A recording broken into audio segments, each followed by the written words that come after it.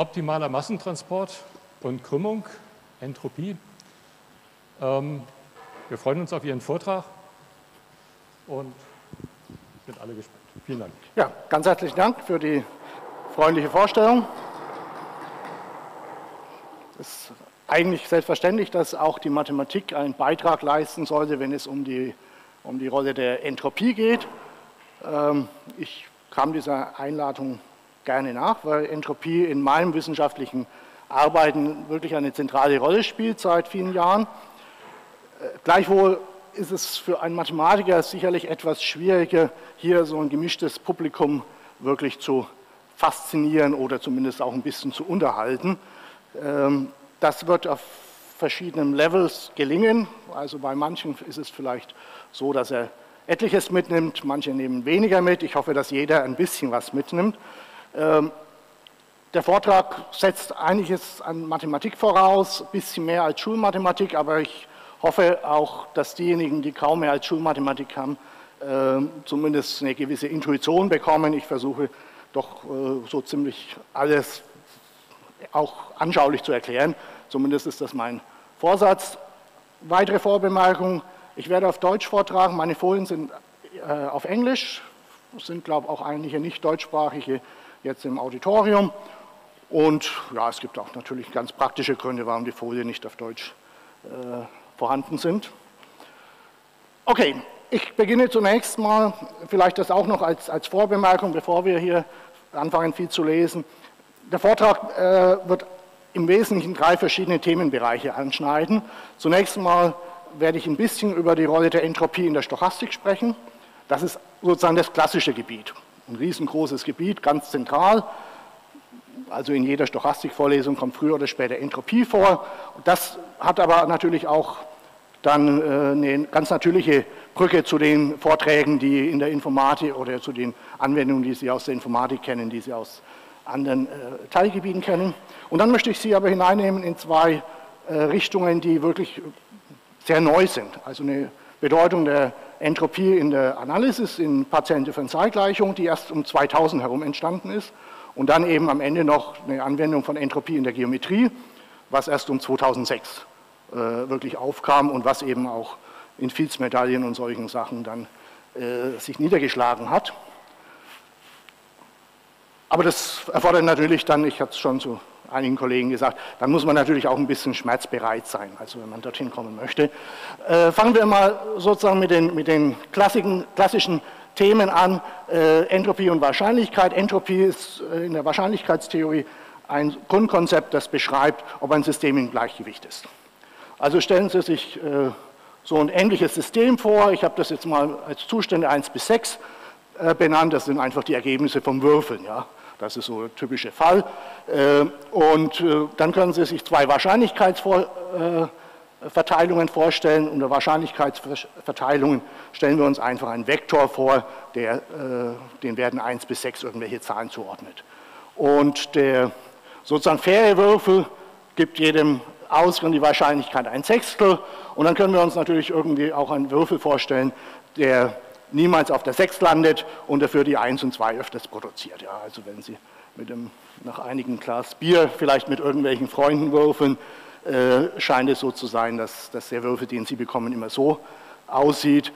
Ähm, und ähm, ja, was würde man gern machen? Äh, man würde gerne ein Maß dafür haben, ob so eine Wahrscheinlichkeitsverteilung weit weg ist von dieser. Und das äh, liefert dann eben schon die Entropie.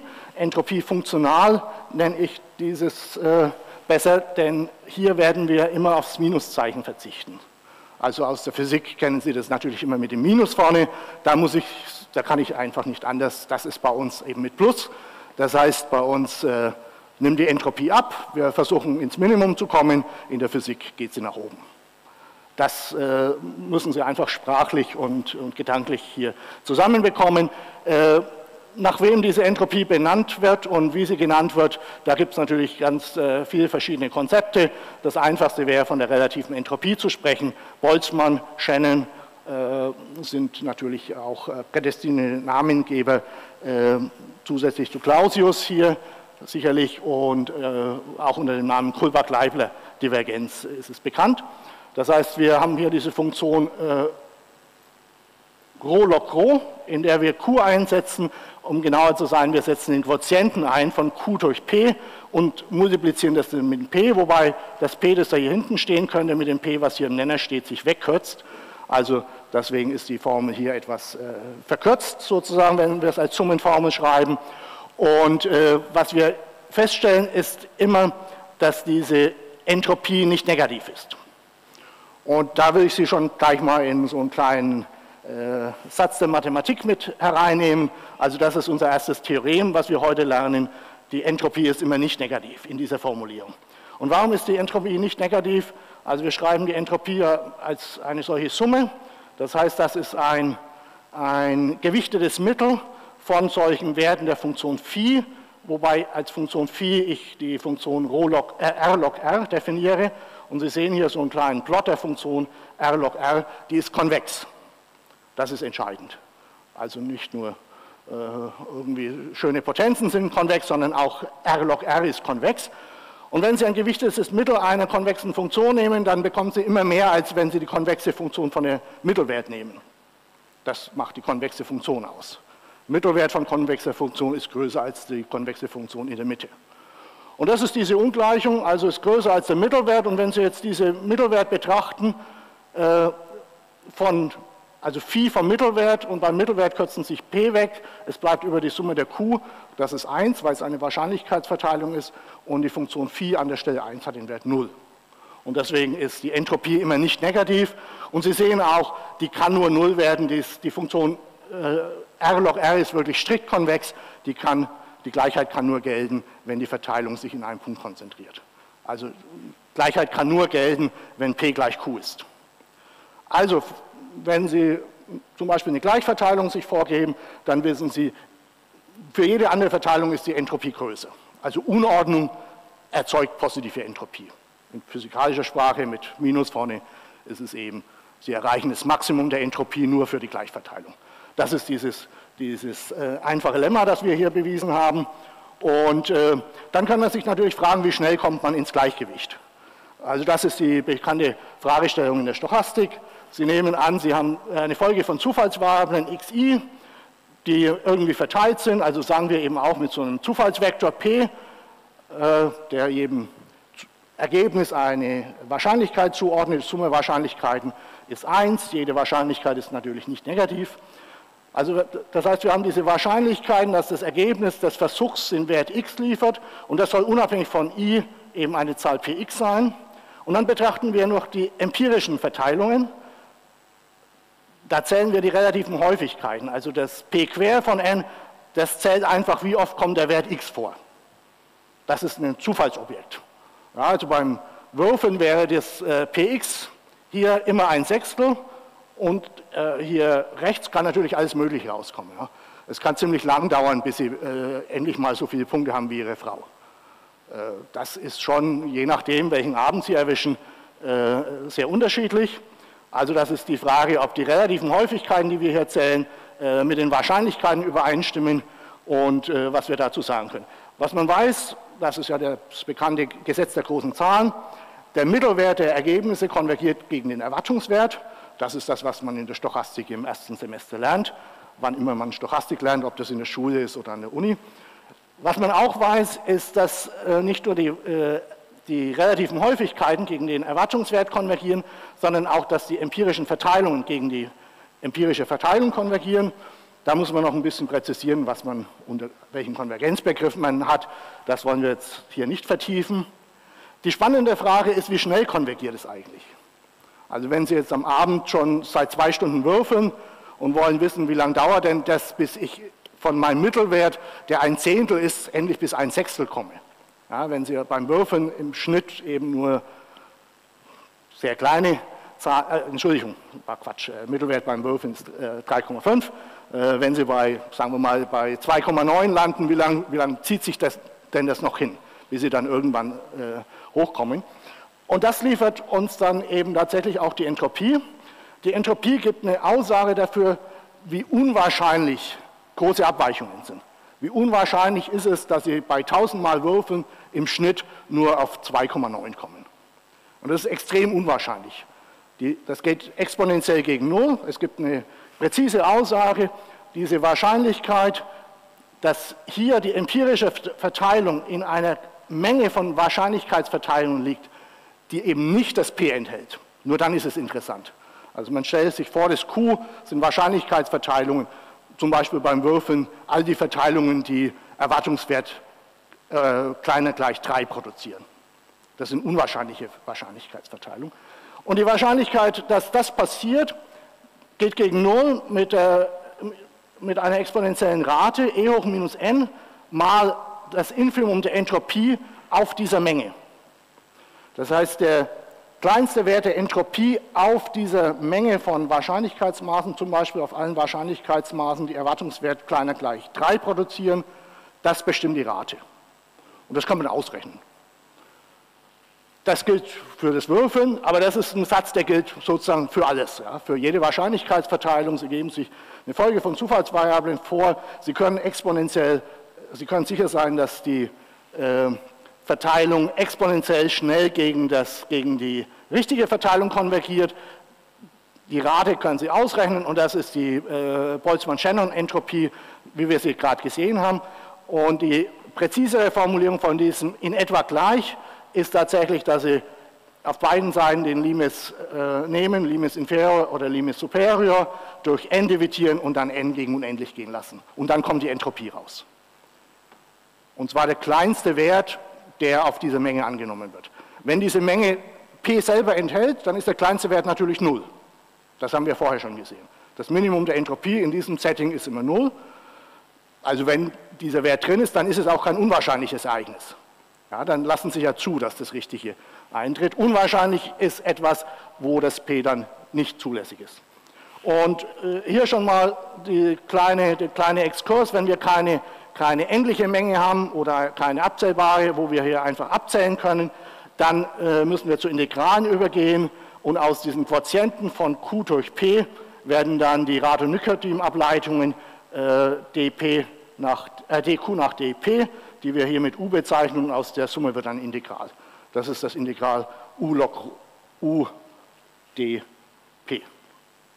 Das ist unsere Entropiedefinition im Allgemeinfall. Also eigentlich werden wir im Folgenden immer mit dieser Definition arbeiten.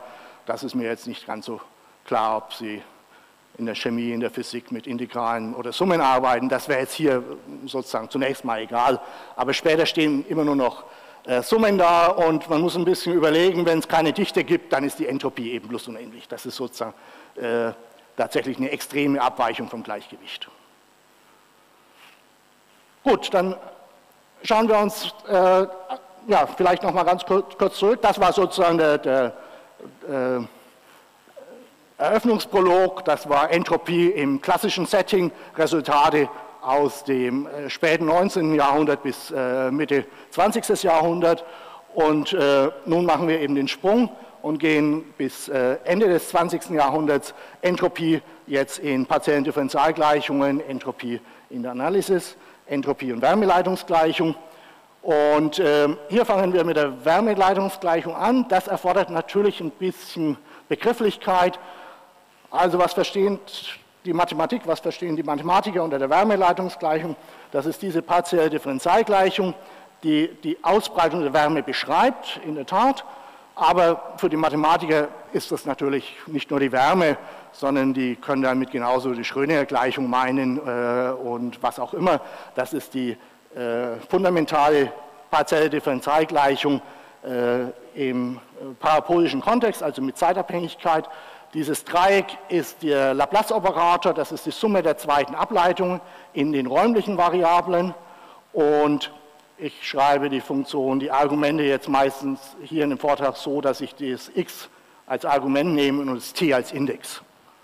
Das ist einfach dann ökonomischer später, weil ich das x dann meistens weglasse, aber das t dabei haben möchte oft. Also die Wärmeleitungsgleichung ist diese partielle Differentialgleichung.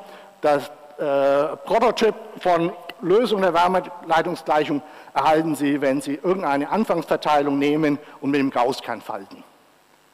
Ja, das ist die sogenannte Fundamentallösung der Wärmeleitungsgleichung, also, oder auch der Gaußkern mit dem Vorfaktor zusammen. Äh, das selber ist als Funktion, oh, da vorne fehlt, fehlt ein T. Entschuldigung, da gehört noch ein T rein. Also als Funktion von t, was hier und da auftaucht, und x ist es eine Lösung dieser Gleichung. Und wenn Sie das äh, y dann eben wegintegrieren mit was auch immer, bleibt das immer noch eine Lösung der Wärmeleitungsgleichung.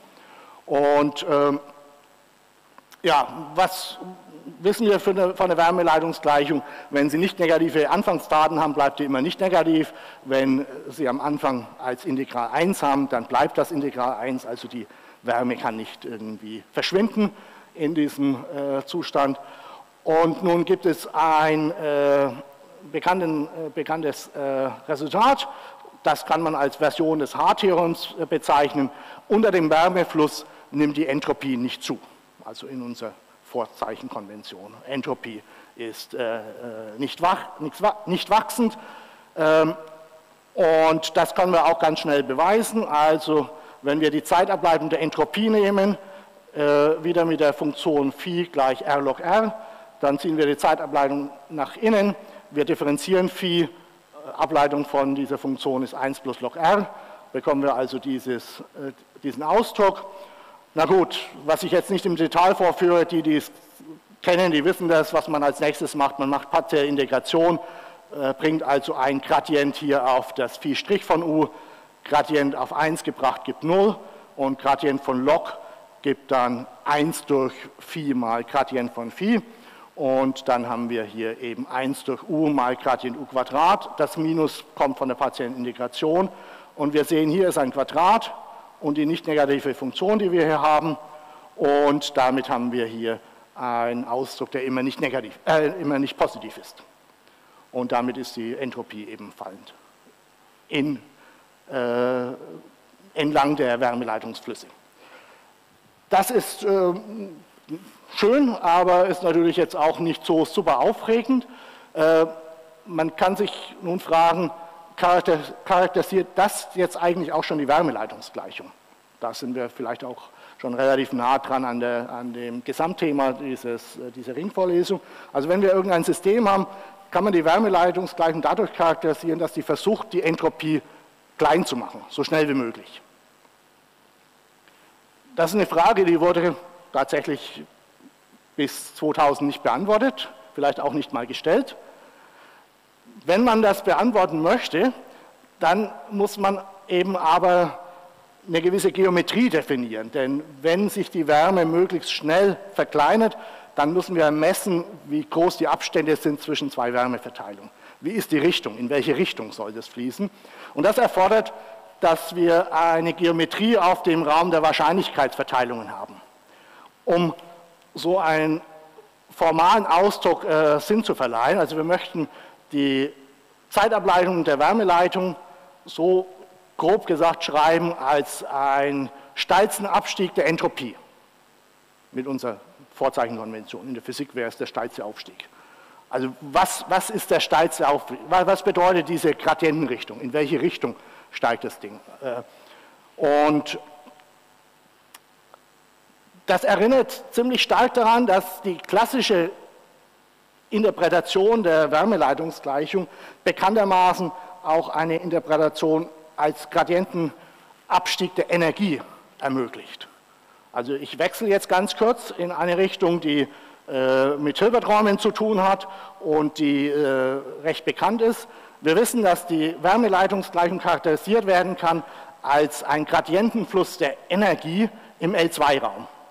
Also ich nenne diesen L2-Raum jetzt H und die Energie, das ist das, was Sie als Physiker auch kennen, als Naturwissenschaftler, das ist das Integral von Gradient U Quadrat äh, mit dem Gradienten äh, als Funktion so definiert. Äh, Sie würden den wahrscheinlich gerne als Spalte schreiben, würde ich vielleicht auch, wenn das nicht so aufwendig wäre hier.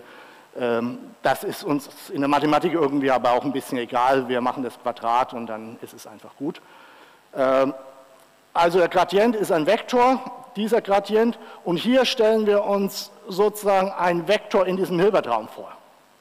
Ja, deswegen mache ich da dieses Symbol h dran. Das ist ein Vektor im Rn und hier stellen wir uns, hier oben stellen wir uns vor, das ist ein Vektor im Hilbertraum. Also in welche Richtung möchte dieses U sich entwickeln, damit die Wärme möglichst schnell eben sich verteilt. Und die Antwort ist hier, der Vektor äh, ist die Funktion minus Laplace von U. Und auch das kann man relativ schnell äh, beweisen. Ich möchte Ihnen ein bisschen Appetit machen darauf, auf klassische Mathematikvorlesungen, Satz, Theorem, Beweis und, oder Theorem, Beweis und so weiter. Also, wie beweisen wir das? Wir schauen uns die Richtungsableitung an von, diesem, von, diesem, äh, von dieser Energie. Wir wissen noch gar nicht, ob es irgendwie so einen Gradienten gibt. Ja? Aber wenn es den Gradienten gibt und wir paaren den mit einem anderen Element in unserem unendlich dimensionalen Hilbertraum H, dann können wir das als Richtungsableitung schreiben.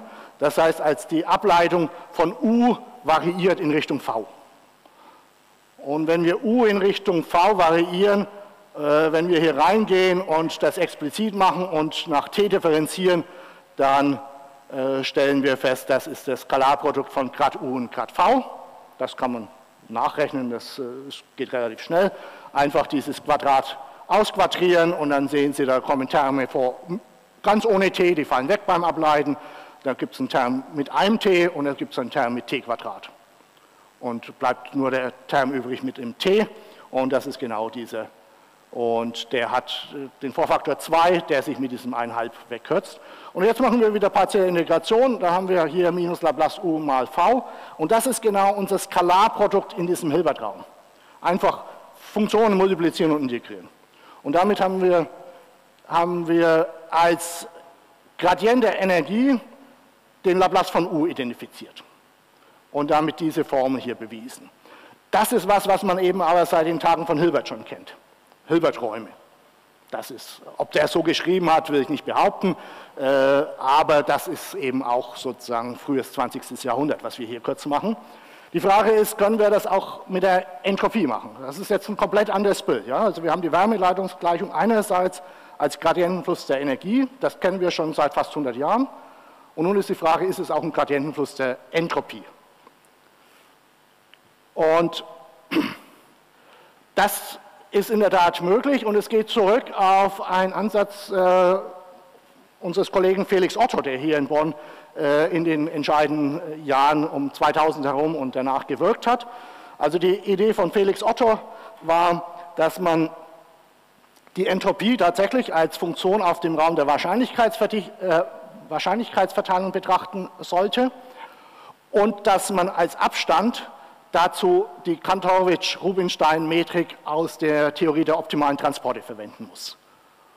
Und dann kann man das hier wirklich äh, rigoros definieren. Und äh, das will ich Ihnen ein bisschen vorführen. Äh, bevor ich dazu einsteige, äh, aber nun auch noch mal ein bisschen Exkurs in die Theorie des optimalen Massentransports.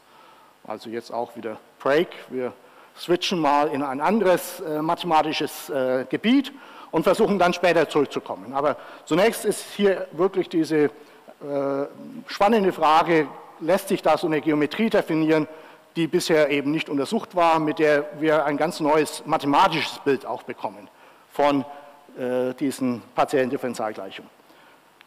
Ja, optimaler Transport, ganz kurz, worum geht es jetzt? Das ist jetzt, hat jetzt zunächst absolut nichts mit Entropie zu tun, auch nichts mit partiellen Differentialgleichungen.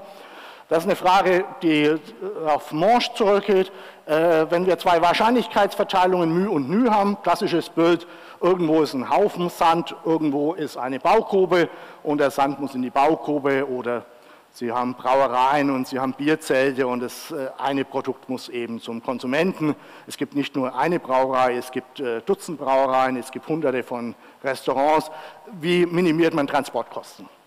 Und die Formulierung ist äh, natürlich auch damals nicht exakt so gewesen, wie wir es jetzt formulieren würden. Wir würden jetzt sagen, wir suchen eine Abbildung, die die eine Verteilung auf die andere abbildet. Mit einer äh, Bildmaßkonstruktion würde man in der Mathematik sagen. Das heißt, das Bildmaß bekommt man, indem man das, die äh, inverse Funktion hier einsetzt und das entsprechend äh, auswertet.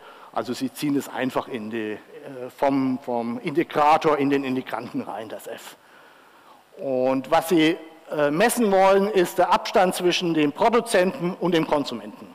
Ja, das F ist eine Abbildung, die die Verteilung der äh, Produzenten auf die Verteilung der Konsumenten abbildet. Und Sie wollen einfach den LP-Abstand messen, den Sie brauchen, um das äh, Produkt von, vom Erzeuger zum Verbraucher zu bringen. Das ist ein relativ kompliziertes Problem und insbesondere hat Morsch damals das natürlich für P gleich 1 versucht. Das scheint zunächst mal das Nettere zu sein, ist aber tatsächlich das Schlechteste, was man machen kann. Man sollte mit p gleich 2 anfangen und dann vielleicht p Strich zwischen 1 und unendlich, p gleich 1 ist auch relativ spät wirklich rigoros äh, gelöst worden. Hat aber weitere Probleme, also ja, wenn zum Beispiel es nur einen Produzenten gibt, dann gibt es da gar keine Lösung. Ja. Wenn, wenn, nur an einem Punkt produziert wird, dann gibt es keine Abbildung, äh, die das an alle Konsumenten bringt. Denn äh, von einem Punkt können Sie eben nur so einen Punkt abbringen. Also was Sie machen müssen, Sie müssen in der Lage sein, äh, wirklich so eine Verteilmatrix zu konstruieren, sodass ein Produzent alle Konsumenten mit einer gewissen Wahrscheinlichkeit beliefert. Und äh, das ist eine ein Ansatz, den Kantorowitsch unabhängig davon verfolgt hat, unabhängig aber natürlich auch viel, viel später. Aber er wusste zunächst gar nichts von dem Morsch-Problem. Äh, da ist ähnliches Problem, man hat zwei Wahrscheinlichkeitsverteilungen und hier ist nun die Frage, ein Maß auf dem Produktraum zu finden, dessen Marginalien die gegebenen Maße sind. Also wenn Sie die x-Variable rausintegrieren, dann bekommen Sie das äh, Nü und wenn Sie die äh, y-Variablen raus integrieren, also wenn Sie projizieren auf die x-Achse, dann bekommen Sie das Maß μ. Und das ist, wenn Sie eine Matrix haben, wenn Sie eine doppelt stochastische Matrix haben, dann heißt es, Zeilensummen ist 1, Spaltensummen sind 1. Hier würden wir wollen, dass die, dass die äh, Spaltensummen μ ergeben oder p in unserem ursprünglichen Bild und die Zeilensummen geben das q. Also das wäre dann so eine Kopplung von zwei Wahrscheinlichkeitsmaßen. Und für so eine Kopplung rechnen wir auch die Transportkosten aus. Also das ist dann sozusagen eine Vorschrift, wie Konsumenten und äh, Entschuldigung, wie Produzenten und Konsumenten gepaart werden. Und wir äh, rechnen dann auch aus, wie groß ist die mittlere, äh, wie groß sind die mittleren Kosten für den Transport von x nach y, wenn wir die Kosten mit x minus y hoch p äh, eben in Rechnung stellen. Ja, lange Rede, kurzer Sinn. Ähm, tatsächlich kann man zeigen, und das wurde dann aber relativ spät erst gezeigt, dass die beiden Probleme in äh, den Fällen, die uns interessieren, identisch sind. Also das ist ein Resultat, das auf äh, Not Smith, äh, Rüschendorf im Wesentlichen und Prenier zurückgeht, in der finalen Form dann um äh, 1990 gezeigt, nämlich zumindest für Exponent p gleich 2 und wenn die Verteilungen wirklich Dichten haben bezüglich des Lebesgue-Maßes, dann sind beide äh, Probleme, führen beide Probleme zur selben Lösung. Und zwar gibt es eine optimale Kopplung Q, es gibt eine optimale Transportabbildung und diese Transportabbildung ist in der Tat dann gegeben als Gradient einer konvexen Funktion. Das Letztere ist wirklich auch relevant und ist eine äh, wichtige Information. Manche von Ihnen kennen vielleicht noch die Aussage, dass Sie jede Wahrscheinlichkeitsverteilung als Bildmaß der Inversen der kumulativen Verteilungsfunktion schreiben können.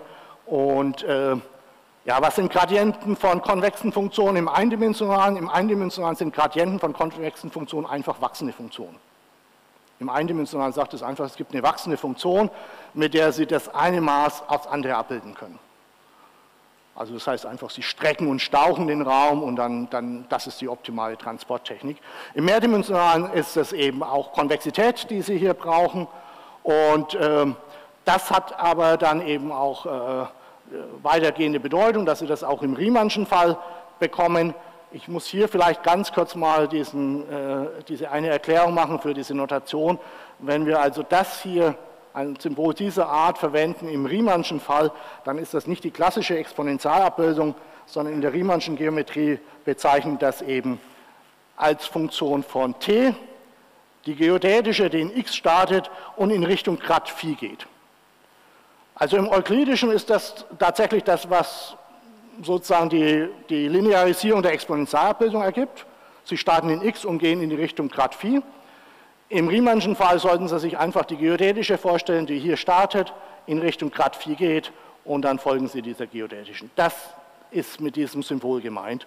Das ist eben leider so in der Mathematik eingebürgert. Das ist nicht die E-Funktion mit 2,718 hoch irgendwas, sondern das ist die Lösung einer Differentialgleichung, die man sich hier so vorstellen darf. Und dieses Transportproblem muss man sich nun so vorstellen, wenn wir hier eine Anfangsverteilung haben und hier eine Endverteilung, ähm, dann wird die Masse in diesem äh, Morsch-Kantorowicz-Problem transportiert längs geodätischer äh, also längs kürzester Kurven in dem zugrunde liegenden Raum. Das kann natürlich dann auch zu äh, Unstetigkeiten führen, ja, also wenn diese Endverteilung dann in zwei disjunkten äh, Regionen liegt, dann gibt es hier sicherlich äh, zu Beginn auch eine Diskontinuität, denn die Teilchen müssen sich überlegen, gehe ich nach links oder gehe ich nach rechts. Und äh, trotzdem ist die Aussage, es gibt eine eindeutige Lösung.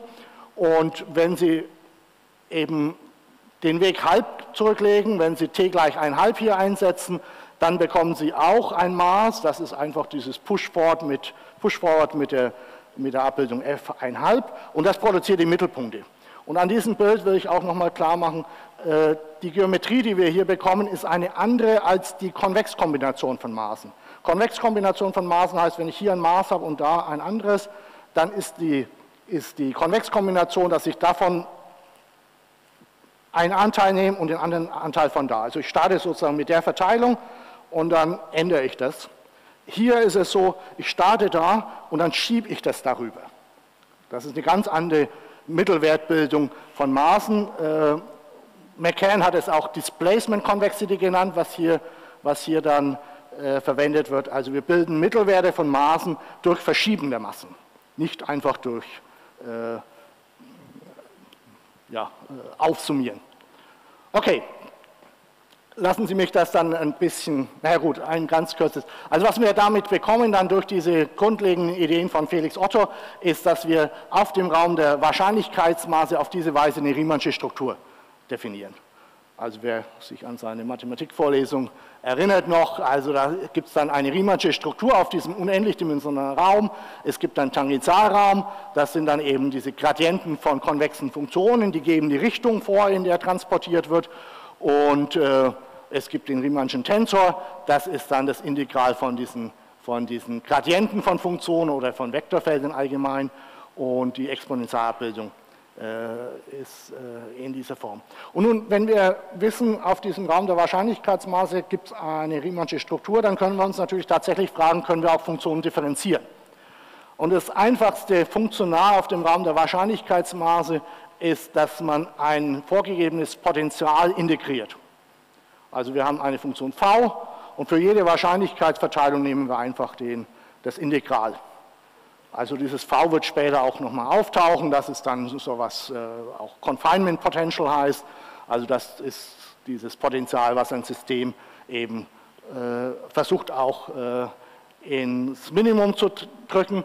Okay, kann, können wir von, von, dieser Funktion einen Gradienten ausrechnen. Ähm, das habe ich hier ein bisschen vorexerziert. Also wir haben dieses Funktional ähm, wir rechnen das aus mit dieser Transportabbildung an der Stelle ft in Bezug auf das Startmaß. Und wenn wir jetzt wieder dieses Spielchen machen mit Richtungsableitungen, dann ähm, stellen wir fest, äh, in diese Richtung, in die wir gehen, also in die Richtung äh, Phi, bekommen wir Grad Phi mal Cos Phi. Und wenn das unser Skalarprodukt ist in, diesem, in dieser Riemannschen Struktur, dann haben wir also den Gradienten von der von diesem Funktional als Gradient dieses Potentials identifiziert. Und das ist jetzt unabhängig davon, an welchem Punkt in diesem äh, Raum der Wahrscheinlichkeitsmaße wir sind. Spannender ist, und das ist wirklich dann das Zentrale, äh, die Entropie zu betrachten als Funktion auf den Wahrscheinlichkeitsmaßen. Hier kann man nun auch versuchen, den Gradienten auszurechnen. Ähm, das will ich aber jetzt ein bisschen abkürzen. Langer Rede, kurzer Sinn, wenn man diese Rechnung durchführt, stellen wir fest, der Wassersteingradient, also diesen Raum nennt man dann auch Wassersteinraum, der Wassersteingradient äh, der Entropie in der Stelle am Punkt äh, μ0 ist der Gradient der, des Logarithmus der Dichte. Und wenn wir das haben, dann können wir den nächsten Schritt machen. Wir können diesen Satz von Otto und Co-Autoren äh, beweisen, nämlich die Wärmeleitungsgleichung ist genau dann erfüllt, wenn diese Funktion ρt eine Dichte ist von Maßen, die selber diese Gradientenflussgleichung erfüllen. Ja, also formal wechseln wir jetzt von, von Funktionen zu Wahrscheinlichkeitsmaßen. Ähm, das muss Sie jetzt nicht weiter groß bekümmern. Wenn wir immer auf dem Rn bleiben, dann können wir sowieso davon ausgehen, dass das alles äh, die Dichten bezüglich des Lebesgue-Maßes sind und dann können Sie m sich als Lebesgue-Maß vorstellen und dann ist es einfach die relative Entropie auf dem euklidischen Raum. Und auch hier kann man diesen, diese Aussage relativ schnell verifizieren, wenn man eben äh, verwendet, dass, dass wir äh, bereits den Gradienten der Entropie identifiziert haben und dass wir bereits äh, wissen, dass die, nee, das ist ja, Entschuldigung, das wollen wir zeigen. Ach so, doch, äh, wenn, wir, wenn wir das annehmen, so, so ist die Idee hier. Wenn wir das annehmen, wollen wir zeigen, dass das Rho die Wärmeleitungsgleichung äh, erfüllt. Aber ich glaube, das überspringe ich jetzt. Ich habe Ihnen schon relativ viel Beweise zugemutet. Äh, was an diesem Konzept nun interessant ist, Sie können das relativ umgehend erweitern und nicht nur Gradientenflüsse der Entropie betrachten, sondern Sie können die Entropie mit diesem Funktional, was ich zuvor schon vorgestellt hatte, nämlich dem Integral dieses äh, Confinement-Potentials, äh, verbinden und Sie können des Weiteren ein Interaktionspotenzial ins Spiel bringen und dann das Interaktionspotenzial eben mit zwei Kopien dieser Dichte aufintegrieren. Das äh, ist dann sozusagen mit naiver physikalischer Interpretation sofort schon äh, klar. Also hier haben wir sowas wie eine interne Energie, hier haben wir eine Energie, die aus einem globalen Potenzial herrührt. Stellen Sie sich ein quadratisches Potenzial vor, das verhindert, dass Ihre Dichte danach unendlich verschwindet. Und hier stellen wir uns ein Interaktionspotenzial vor, das jetzt zur Vereinfachung vielleicht mal keine Singularitäten haben soll, aber im Grunde kann das natürlich auch das klassische Interaktionspotenzial eben aus der Molekülphysik sein.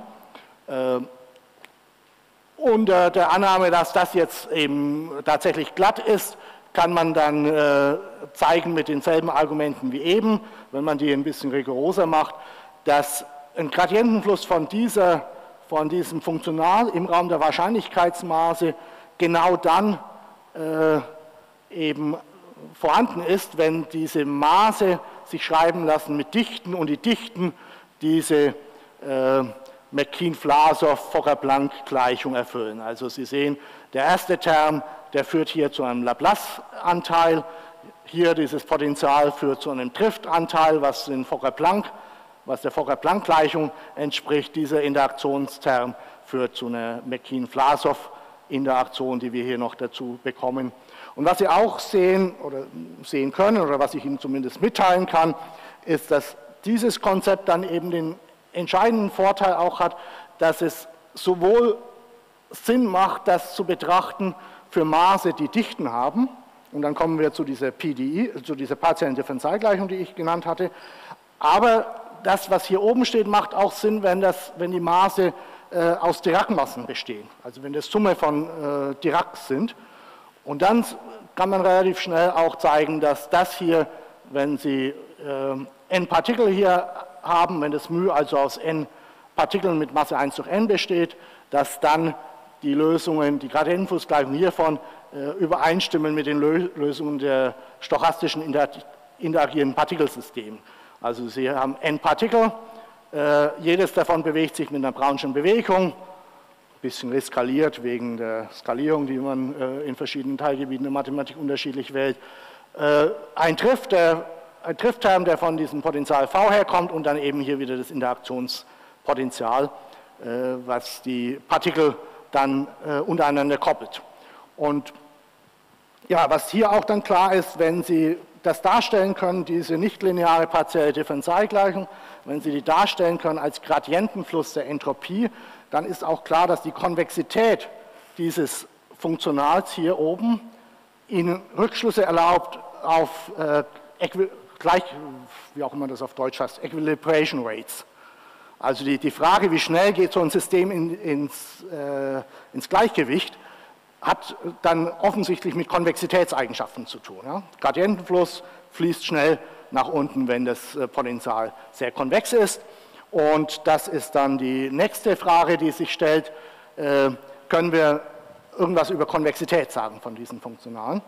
Und das ist tatsächlich ein fundamentales Resultat von Robert McCann. Ähm, die Boltzmann-Entropie oder Boltzmann-Entropie-Funktional ist konvex. Und zwar konvex eben in dieser Displacement Convexity, also nicht konvex für diese lineare Kombination von Massen, sondern für das Verschieben von Massen. Und ähm, auch das ist ein äh, Satz, der jetzt nicht allzu schwer ist, aber der eben auch erst äh, vor nicht allzu langer Zeit gefunden wurde und was eines dieser Startsignale war, zusammen mit den, mit den Überlegungen von Felix Otto, dass man eben Entropie als konvexe Funktion in der Wassersteingeometrie nachweist. Das ist eine Rechnung, die kann man hier relativ äh, direkt nachvollziehen. Wir hatten das schon in etwa gesehen durch diese Transformationseigenschaft. Äh, erscheint dann hier der Logarithmus der Funktionaldeterminante dieser Transportmatrix, äh, dieser Transportabbildung. Und äh, ja, wenn man das ein bisschen sich anguckt und zweimal differenziert, ich habe das jetzt zur Vereinfachung einfach mal als Diagonalmatrix angeschrieben, dann sehen Sie relativ schnell, dass hier äh, die, äh, eine negative äh, Summe von Quadraten auftaucht und damit haben wir mit diesem zusätzlichen Minus, was hier steht, die Konvexität gezeigt.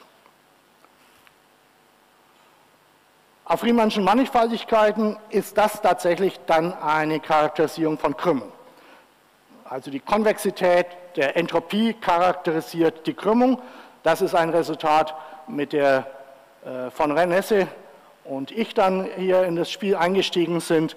Also wenn wir dasselbe Resultat haben möchten, das McCann auf dem euklidischen Raum gezeigt hat, und wir wollen also die Konvexität der Boltzmann-Entropie oder K-Konvexität, K-Konvexität heißt einfach, es gibt einen quadratischen Korrekturterm, äh, anschaulich gesprochen, zweite Ableitung ist eben dann nicht größer als 0, sondern größer als, minus, äh, größer als K.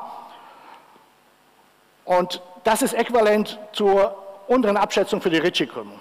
Also typisches Beispiel, nehmen Sie die Sphäre. Sphäre ist der Prototyp eines Raumes mit positiver Krümmung und da ist die Behauptung, äh, auf einem solchen Raum ist die Entropie sogar besser als konvex. Ja, wir haben Krümmung plus 1, Entropie ist also, also die zweite Ableitung der Entropie sollte dann 1 sein. Und wir können uns das zumindest intuitiv äh, schnell überlegen. Wenn Sie eine Massenverteilung hier haben und dieselbe Verteilung, also Gleichverteilung in einer Kugel hier und eine da, und Sie transportieren die Massen, dann wird die Masse äh, auf der äh, halben Strecke eben sich verteilen auf eine Menge, die größer ist. Das macht die positive Krümmung aus. So haben Sie einfach mehr Raum. Die, die Menge der Zwischenpunkte ist größer und wenn Sie mehr Platz haben, dann kann sich eine Wahrscheinlichkeitsdichte besser verteilen und mit meiner Vorzeichenkonvention ist die Entropie dann kleiner. Das heißt, die Entropie sieht so aus. Und das ist die das ist die 1-Konvexität der Entropie. Die zweite Ableitung ist größer und das ist äh, eine Charakterisierung von Ritchie-Krümmung. Ja gut, was, was ist Ritchie-Krümmung? Da werde ich natürlich jetzt nicht einsteigen. Ich sage Ihnen ganz kurz, das ist also die Summe der Schnittkrümmung. Schnittkrümmung ist, wenn Sie äh, zwei Vektoren haben, Sie geben einen Vektor vor und den anderen, dann können Sie hier eine Ebene reinlegen und wenn diese Ebene positiv oder negativ gekrümmt ist, das ist eben die Schnittkrümmung in dieser Ebene. Und Ritchie-Krümmung ist äh, definiert wie folgt, Sie halten einen Vektor fest und bilden die Summe über all die Schnittkrümmungen. Und das ist tatsächlich das Objekt, was in der Analysis, in der Stochastik, in der Spektraltheorie äh, relevant ist. Also alles, was mit dem Laplace-Operator zu tun hat, hat auch mit Ritchie-Krümmung zu tun. Ja, Laplace-Operator ist auch ein Trace von irgendwas, Trace von der Hesse-Matrix und Ritchie-Krümmung ist äh, Trace von der Schnittkrümmung. Und wann immer Sie spannende Resultate über Brownsche Bewegung, über Eigenwerte, über Isoperimetrie auf Riemannschen Mannigfaltigkeiten haben, dann äh, erfordern diese Resultate untere Schranken für die Ritchie-Krümmung. Und äh, weitergehend ist eben eine berühmte Beobachtung von Kromov aus den äh, 80er Jahren des letzten Jahrhunderts, dass der Raum der Riemannschen Mannigfaltigkeiten mit äh, unterer Schranke für die Ritschel-Krümmung, mit Schranke für die Dimension und den Durchmesser präkompakt ist. Also das heißt, äh, ja, das ist äh, sozusagen ein sehr schöner Raum. Allerdings äh, sind die Limiten eben nicht notwendigerweise solche, solche Objekte. Ja. Sie können von den, von den Cauchy-Folgen sprechen und so weiter, aber äh, das ist nicht mehr notwendigerweise eine Mannigfaltigkeit und äh, ja, Gromov hat damals schon vorgeschlagen, dass das richtige Konzept ist äh, ein sogenanntes äh, ein sogenannter metrischer Maßraum. Also statt Mannigfaltigkeit nimmt man einfach ein x, einen metrischen Raum. Und dann muss man noch die Abstandsfunktion kennen und muss das Maß kennen. Also typische äh, metrische Maßräume sind einfach ja, Oberfläche von diesem Raum hier. Ja, wenn Sie Verzweigungen haben, wenn Sie Irregularitäten haben, äh, also wenn Sie so,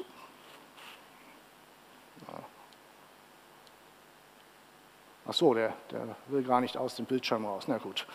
Äh, dann kann ich Ihnen nicht die Ecken mit positiver und negativer Krümmung und Verzweigungen zeigen.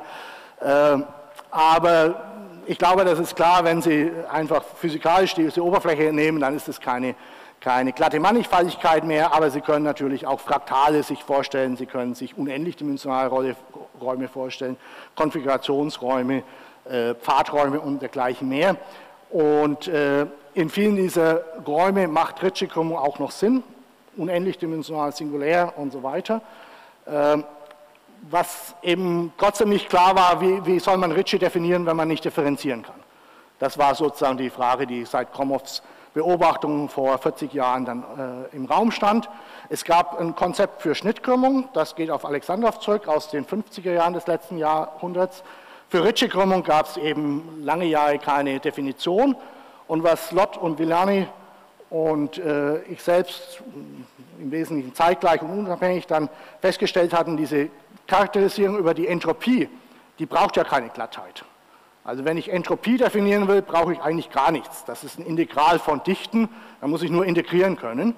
Und für Konvexität, gut, ich kann natürlich sagen, das ist zweite Ableitung irgendwas, aber ich habe immer diese Konvexitätsungleichung. Mittelwert ist kleiner als äh, Konvexkombination der Endpunkte.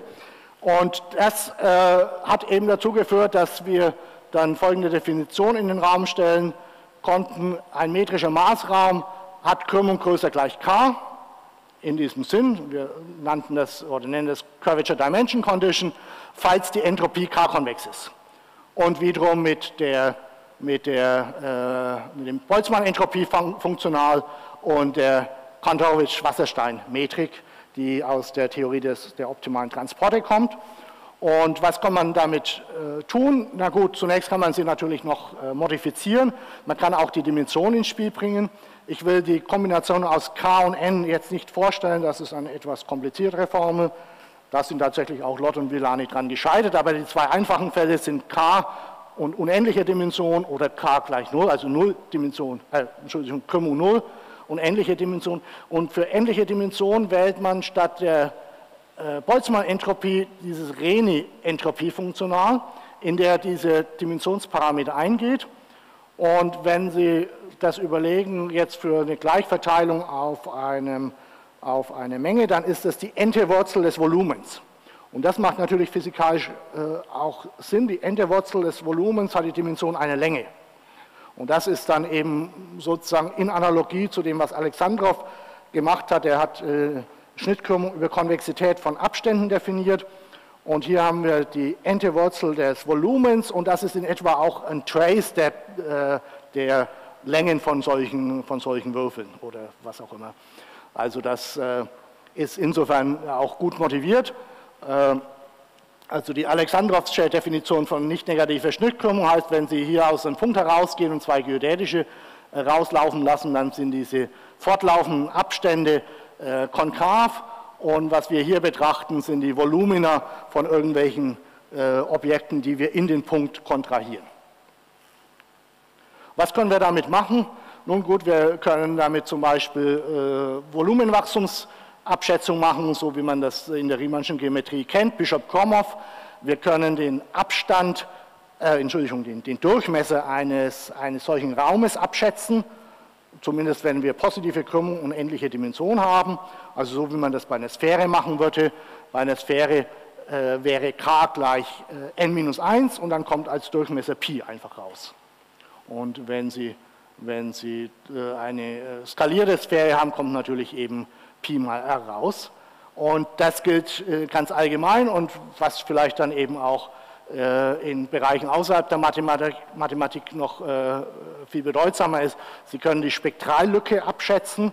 Das ist also, wenn Sie positives K haben, äh, das ist der erste nicht triviale Eigenwert und der gibt Ihnen auch dann wieder an die Rate, mit der ein System ins Gleichgewicht geht. Also dann dieses Lambda 1, das gibt Ihnen an, wie ein System e hoch minus Lambda 1 mal t ins Gleichgewicht geht und das können Sie dann äh, auch auf Systeme anwenden, die eben beispielsweise aus Partikelsystemen oder dergleichen generiert werden. Und was Sie des Weiteren bekommen, ist, wenn Sie nicht nur die Frage haben, wie schnell geht es ins Gleichgewicht, sondern wie schnell laufen zwei solche Gradientenflusskurven zusammen, dann ist das nicht überraschend, dass das mit der Rate k eben auch ins Gleichgewicht geht, wobei k eben die äh, Krümmungsschranke darstellt.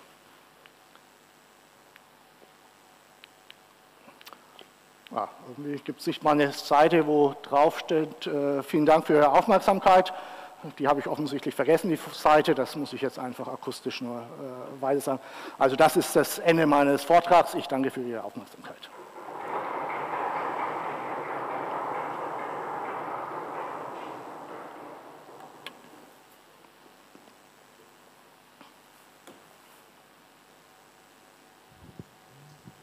Ja, vielen Dank für diesen interessanten Vortrag.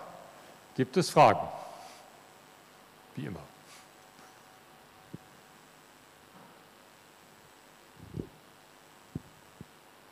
Hm. Sie haben alles verstanden. Ich gehe mal davon aus, wenn Sie keine Fragen haben. Oder wissen Sie nicht, wo Sie anfangen sollen?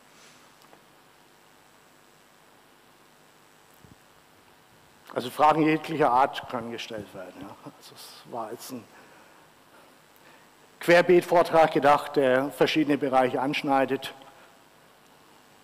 Ja, eine Frage, die ich hatte, vielleicht gleich mal. Ja, äh, bei ihrer, äh, Ihrem Funktional, was Sie da hingeschrieben hatten, da gab es diesen W-Term. Also, ja. Ähm, und ein bisschen länger her schon. Ja, genau. Genau. Den, den hier. Und in der stochastischen Gleichung, da haben Sie dann diese Wechselwirkung zwischen den. Da habe ich den? Die, da haben Sie eine Wechselwirkung dann zwischen genau. diesen verschiedenen Zeichen, also zwischen den x, den Koordinaten. Das ist, das, ähm, das, man, das ist dasselbe Term. Ja. Äh, kann man diese Gleichung entkoppeln? Also durch eine weitere stochastische Variable? Entkoppeln kann man sie nicht, nee. Das, wär, das ist ein gekoppeltes System. Das wird erst linear für äh, nee, linear wird es auch nicht, aber, aber sozusagen äh, mit, einer, mit einem äh, Setting können Sie das erst machen, wenn Sie zu unendlich vielen Teilchen übergehen, dann haben Sie diese Dichte U. Also wenn Sie unendlich viele Teilchen haben und betrachten die empirische Verteilung, das wird dann dieses U, was in der Patientendifferenzialgleichung steht. Ja, meine Frage war eigentlich einfach, ob, ob, Sie noch eine weitere Variable einführen können und dann ausintegrieren. Also und dann dieses. Äh, nee, also ich meine, was, was, was, was, man machen kann, ist folgendes: Man kann statt, diesem, statt dieser Summe über die XJ tatsächlich, das ist dann Propagation of Cars, Sie können die Verteilung des Systems nehmen als äh, eine Variable und dann ist es die Interaktion von dem einen Teilchen mit dem Gesamtsystem. Mhm. Und dann ist die Aussage Propagation of Cars, das äh, konvergiert dann äh, gegen die stochastische Differentialgleichung, die Sie so schreiben können mit einem xi und einem u, was eben zum Beispiel sich, Sie sich von da oben holen. Hm. Dann wird es eine lineare Differentialgleichung. Aber dann ist es trotzdem, letztendlich ist es, ist ein bisschen unsportlich. Ja? Also das u holen Sie sich ja aus, sozusagen aus, aus dem Insiderwissen raus. Mhm. Mhm. Also wenn Sie wissen, dass dieses Propagation of Chaos stattfindet, dann ist für das einzelne Teilchen das linearisiert. Das ist richtig. Ja. Also ich meine, die, diese dB, dieser, die Sie da stehen haben, die sind natürlich gausch. Ja, ja. Und ich meine, meine Frage war zum Beispiel, wie Sie nicht gauschen, also wenn Sie nicht gausche Verteilung haben wollen, wie Sie das produzieren können. Also in Ihrer Hier. Wahrscheinlichkeit, ja, genau an der Stelle. Da ist mir jetzt nicht ganz klar, welche Form von Verteilung Sie im Blick haben. Also wenn Sie Colored Noise haben. Okay. Ähm also ob man das in dieses Bild hier oben einbauen kann, das kann ich Ihnen jetzt leider nicht sagen. Also das äh, können Sie mit dem, da, da will ich jetzt nicht zu sehr spekulieren. Also was man machen kann, aber das führt zu einer anderen Aussage, Sie können äh, statt der Boltzmann-Entropie auch immer eine Reni-Type-Entropie nehmen und bekommen dann hier die äh, poröse Mediengleichung oder Fast Diffusion Equation. Ähm, das ist aber was ganz anderes. Das hat jetzt mit der. Äh, und, denn dann haben Sie aber keinen linearen Differentialoperator mehr. Also da, da ist eine direkte stochastische Interpretation noch viel komplizierter. Okay. Gut. Sie haben jetzt ein bisschen Zeit gehabt, nachzudenken, um Ihre Frage zu stellen. Ja, jetzt gibt es doch Fragen. Also, habe ich Ihnen Zeit gewonnen. Gut, wer möchte als Erster? Äh, Ja, danke schön für den Vortrag. Ähm, Ich hoffe, dass ich da nicht einfach irgendwas falsch verstanden habe. Ähm, Sie haben am, gegen Ende des Vortrages noch ein weiteres Funktional für die Entropie eingeführt. Und ich glaube, es war ein anderes als das, was Sie am Anfang gezeigt haben. Heißt das, dass es dann verschiedene... Wollen Sie mal die Maske kurz abnehmen, dann verstehe ich Sie vielleicht besser. Also, falls das okay ist. Ähm, Also Sie haben am Ende des Vortrages nochmal ein Funktional für die Entropie eingeführt und ich glaube, es war ein anderes als das, was Sie am Anfang gezeigt haben. Ähm, Bedeutet das, dass es dann mehrere Definitionen für Entropie gibt oder kann man zeigen, dass diese dann äquivalent sind, je nachdem, ähm, welchem Raum Sie sich gerade bewegen, in welchem Teilbereich? Das ist jetzt, also ich weiß nicht genau, an welchen Punkt meines Vortrags Sie anknüpfen. Hier am Anfang, irgendwie bei Am den. Anfang hatten Sie ein Funktional für die Entropie definiert und ganz am Ende haben Sie dann am Nebensatz, glaube ich, nochmal ein anderes benutzt und die sahen sehr verschieden aus. Ach so, äh, diese Reni-Type, Ja. Reni-Entropie. Ja, das ist, das ist wirklich ein komplett anderes Objekt. Also außer namentlich haben die erst einmal nichts gemeinsam, ja? Ähm, naja, gut, die haben äh, eine Reihe von Eigenschaften gemeinsam. Äh, lassen Sie mich mal schauen, wo wir das haben. Hier. Also hier dieses Funktional. Das, äh, da ersetzt man eben die Funktion Rho mal log Rho. Also das eine Rho betrachten Sie einfach quasi als gesetzt. Und wir setzen jetzt den Logarithmus durch eine Potenz. Das ist oft auch eine vernünftige Approximation vom Logarithmus. Und wenn Sie möchten, können Sie da noch ein bisschen skalieren. Dann konvergiert es auch für, für ähm, n gegen unendlich gegen den Logarithmus. Also wenn man entsprechende Konvergenzfaktoren davor schreibt. Ähm, hat auch die ähnliche Eigenschaften wie die, wie die Boltzmann-Entropie, dass man damit eben Verteilungen charakterisieren kann, wenn das Ding ist null, genau dann, wenn eben im Gleichgewicht. Aber zunächst ist es, ist es einfach was anderes. Ja. Also Und der Gradientenfluss ist eine ganz andere Gleichung dann. Also einfach nur eine Art und Weise, wie man das zu, zu definieren versucht.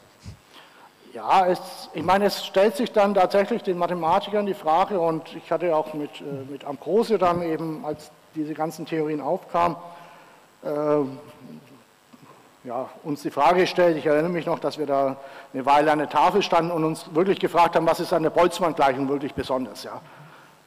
Man kann das ja für verschiedene machen. Ja? Und äh, es ist tatsächlich hier in diesem Setting so, die Boltzmann-Entropie ist die einzige, deren Gradientenflüsse dann eine lineare Gleichung ergeben, eine li lineare Partiell-Differentialgleichung. Und natürlich sowieso die einzigen, die die Wärmeleitungsgleichung ergeben. Jedes andere Entropie-funktional äh, kann auch was Gutes leisten, aber es liefert eben nicht die Wärmeleitungsgleichung. Dann können Sie sich auch fragen, was ist besonders an dem Laplace-Operator? Aber da hat sich die Mathematik zumindest seit 100 Jahren darauf verständigt, der ist schon gut. Also den, den wollen wir schon lassen. Und ähm, da ist die Entropie wirklich sehr eng mit verwandt. Das ist das, was wir sozusagen hier jetzt gelernt haben in den letzten 20 Jahren. Okay, danke schön.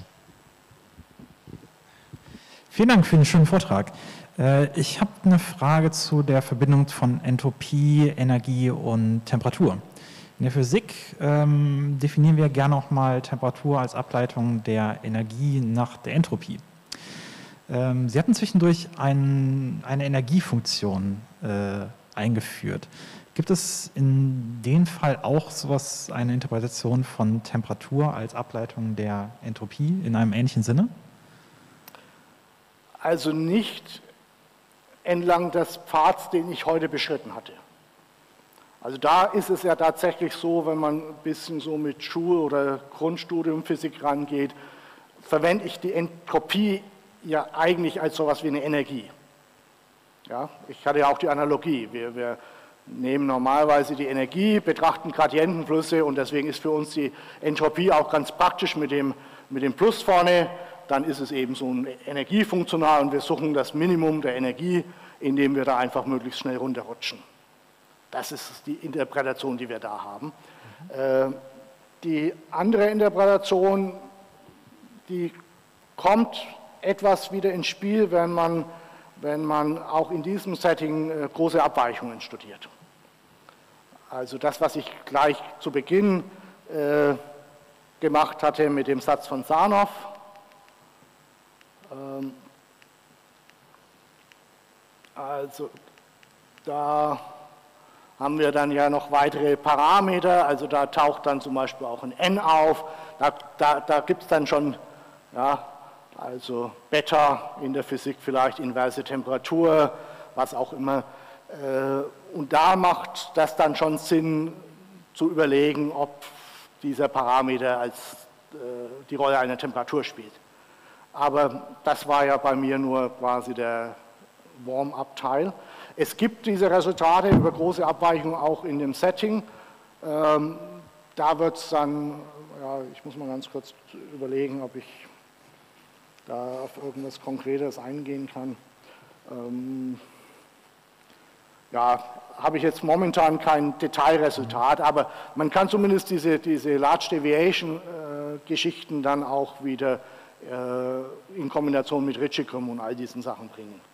Äh, sagt einem diese Temperatur irgendwas über das Verhalten der, dieser Differentialgleichungsweiche zu stationären Punkten oder sowas?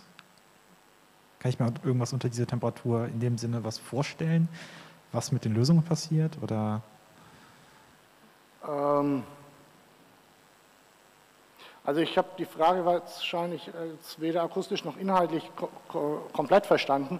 Also ich meine, was, was wir hier verwenden, ähm, wir wollen ja jetzt hier nicht die Entropie erhalten, ne? wir wollen sie minimieren. Also für uns ist es eher äh, wie ein Lyapunov funktional, dass wir, indem wir möglichst eben in diesem Bild möglichst schnell runterrutschen wollen. Äh, das, ich weiß nicht, ob ich die Frage besser beantworten kann.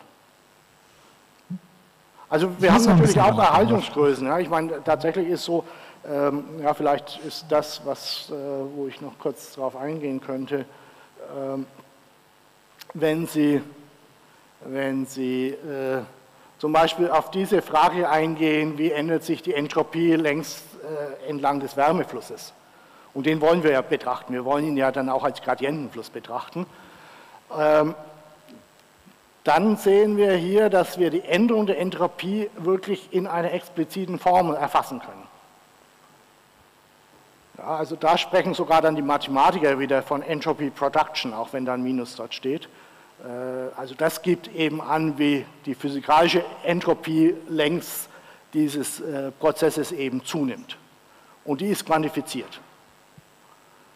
Also äh, Vorteil dieses Kalküls ist dann eben gerade, weil man auch aus allen Differenzierbarkeitsrestriktionen äh, rausgehen kann, dass man Ableitungen, zweite Ableitung und so weiter von all diesen Funktionalen wirklich äh, zum, zunächst mal formal berechnen kann und in einem weiteren Schritt dann auch rigoros. Okay, vielen Dank. Aha. Danke. Ähm, Sie haben ja hauptsächlich jetzt über die Wärmeleitungsgleichung gesprochen. Kann man dasselbe Prinzip auch auf andere partielle Differentialgleichungen anwenden, konkret zum Beispiel Navier-Stokes? Da sehe ich jetzt wenig Chancen.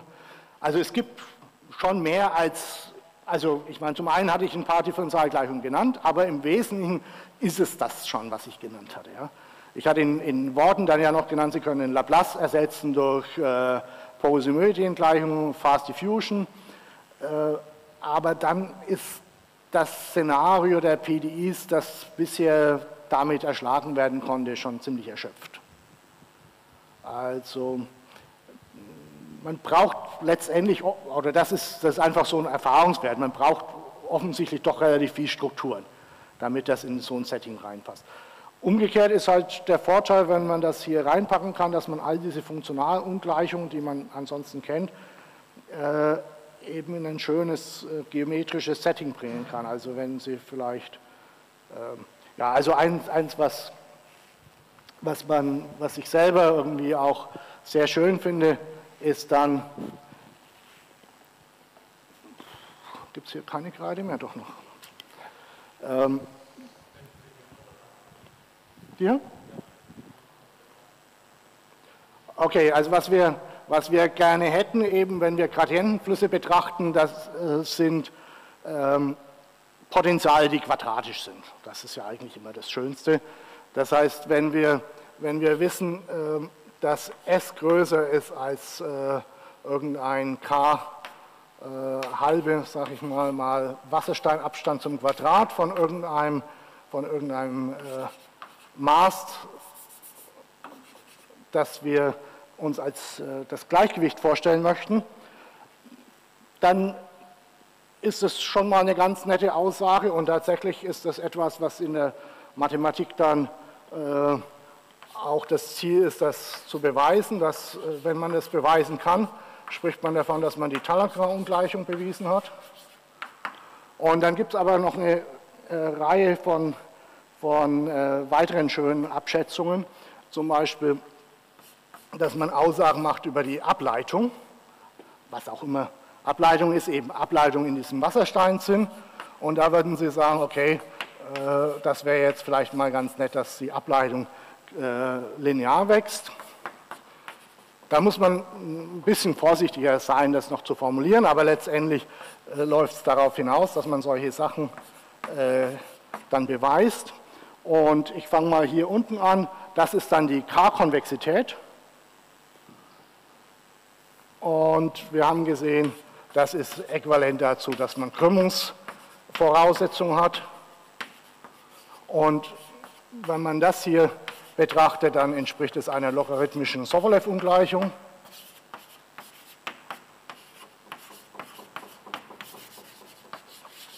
Und dann ist es natürlich auch klar, einfach von ganz naiver äh, Heuristik, wenn Sie eine Ungleichung zweiter Ordnung haben, dann impliziert es die Ungleichung erster Ordnung und impliziert die Ungleichung nullter Ordnung. Das heißt, das, was ich zuletzt vorgestellt hatte über Krümmung der Entropie, ist die stärkste Aussage, die wir hier reinpacken. Und wir sehen hier relativ mit einem ganz naiven Bild, dass solche Sachen wie logarithmische Sobolev-Ungleichung eben Talankra-Ungleichung implizieren. Und das sind Funktionalungleichungen, für die die Mathematiker sich interessieren, um zu zeigen, dass solche Systeme exponentiell schnell ins Gleichgewicht konvergieren. Man kann auch natürlich dann, wenn man das gut verstanden hat, sich dann fragen, wenn nicht mehr exponentiell, wenn es kein positives k mehr gibt, können wir zum Beispiel äh, polynomiale Konvergenz zeigen, also solche Borderline-Cases. Das sind so die Fragen, äh, die man behandelt, aber da bieten sich letztendlich nur diese Klasse von Funktionen an, die man eben als solche entropieartigen Funktionale schreiben kann.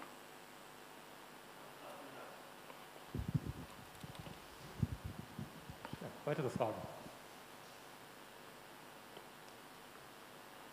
Okay.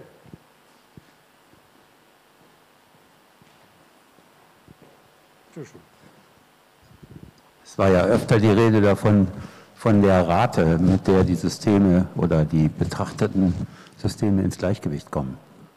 Und äh, meine Frage wäre, gibt es eigentlich relevante Systeme, die sich weigern, ins Gleichgewicht zu gehen? Die sich? Die sich weigern, ins Gleichgewicht zu kommen. Oder kommen alle mehr oder weniger mit derselben Rate nee, in dieses Gleichgewicht? Nee, nee, natürlich gehen keineswegs alle ins Gleichgewicht. Ähm, was, was ist denn das Charakteristikum, dass sie nicht ins Gleichgewicht kommen? Kann man das generell sagen? Na gut, also hier sieht man natürlich schon ein bisschen, das war jetzt wirklich eine, eine super Heuristik-Sache, die würde ich auch nicht ganz so auf Folien schreiben. Äh, es ist ja anschaulich schon klar, wenn Sie so ein Potenzial haben, was dazwischen so ein Nebenminima hat, da kann natürlich das auch hängen bleiben. Ja. Äh, und das kann hier auch passieren. Also die stärkste Aussage ist einfach die, die letzte, da, sind, da ist man immer auf der sicheren Seite. Also wenn man eine zweite Ableitung abschätzen kann, da kann nichts mehr schief gehen. Bei allen anderen muss man schon etwas genauer hinschauen. Ähm, das betrifft jetzt die sozusagen physikalischen Systeme. Geometrisch ist es eben auch recht spannend. Das ist vielleicht eine Brücke, die hätte ich auch erwähnen können. Ähm, interessant sind ja auch Systeme, die sich verändern, um sozusagen mehr Gleichgewichtssysteme zu werden. Also konkret äh, will ich damit sagen, wenn Sie jetzt äh, auch geometrisch sich nochmal vorstellen, irgendeine Mannigfaltigkeit, die hat halt ein paar so Teile, die nicht ganz so nett ausschauen. Und äh, statt nur die Wärmeleitungsgleichung zu betrachten und den ganzen Tag darauf zu warten, dass die Entropie konvex wird, wenn sie das nicht ist, können Sie ja auch der Mannigfaltigkeit, erlauben, sich zu verändern. Und das ist dann der Ritchie-Fluss. Das heißt, äh, Ritchie-Fluss ist dann eine Evolution der Metrik, der Mannigfaltigkeit, oder überhaupt ja, der Metrik, der Mannigfaltigkeit, mit dem Versuch, möglichst rund zu werden. Also vielleicht würde ein Physiker sagen, möglichst großen Eigenwert zu bekommen, möglichst Equilibrium zu sein. Äh, und das kann man tatsächlich auch in diesem, in diesem Kontext äh, formulieren.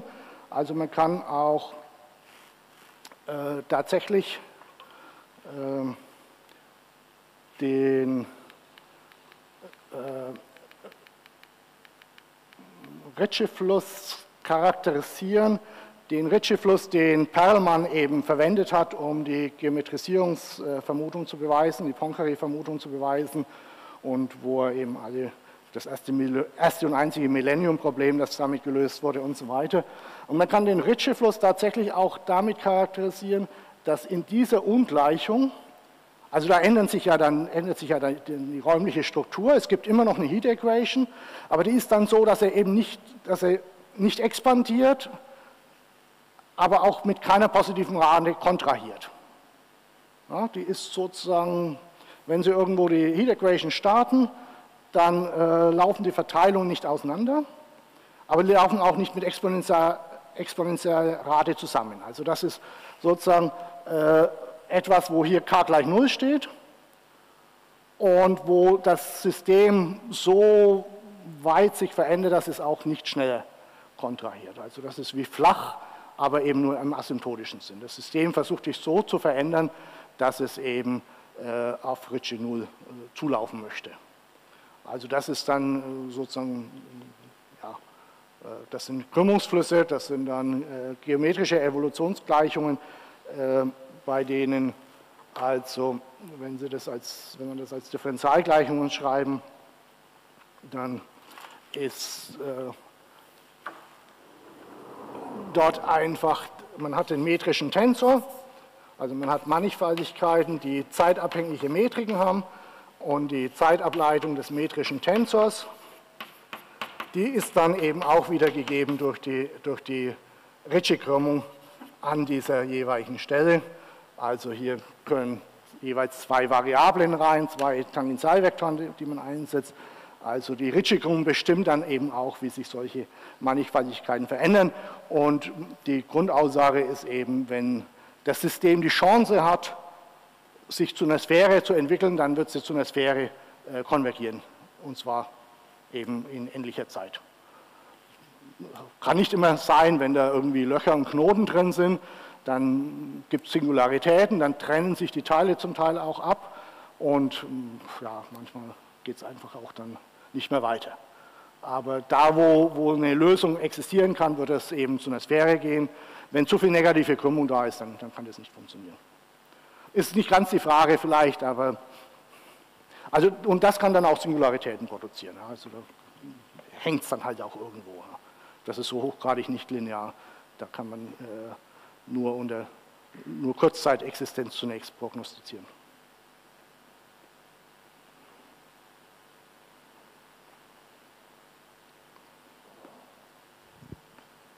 Dieser Stelle Ich hatte noch eine Frage zur Definition von dieser Renyi-Entropie. Da hatten Sie gesagt, ähm, Sie gehen die Dimension so, dass es eben halt eine Länge, wie eine Länge skaliert. Äh, ist das in allen Räumen so? Also wenn Sie einen fraktalen Raum nehmen?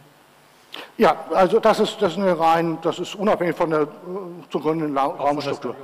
Das ist einfach so eine Analysis-Eigenschaft, dass äh, R hoch 1, 1 plus 1 durch R hoch 1 durch N mal N Vorfaktor irgendwas gegen Logarithmus konvergiert. Ja, ja, das ist, also der Teil ist klar, nur die Skalierung war die Frage. Ja, ja, also man muss einen Skalierungsfaktor vorne okay. dran stehen haben, den ich jetzt nicht dabei hatte, weil ich das nur für ein fixes N äh, betrachten wollte. Gut. Alle Fragen sind erschöpfend beantwortet worden, denke ich. Ähm, dann bleibt uns nichts weiter übrig, als Herrn Sturm zu danken für diesen schönen Vortrag.